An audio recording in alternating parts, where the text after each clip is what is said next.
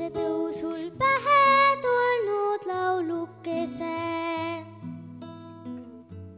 torkan lillepotti kasvama, kiirustades kastan armsaid unistusi valusatel mäel.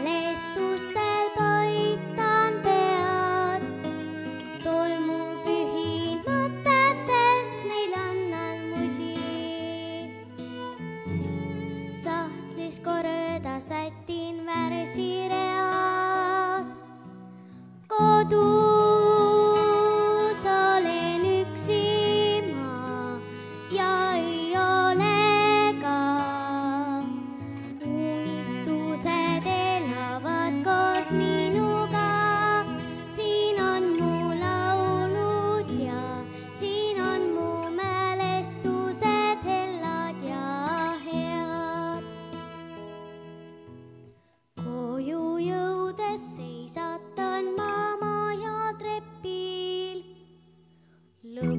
siiski veidikene paotanust.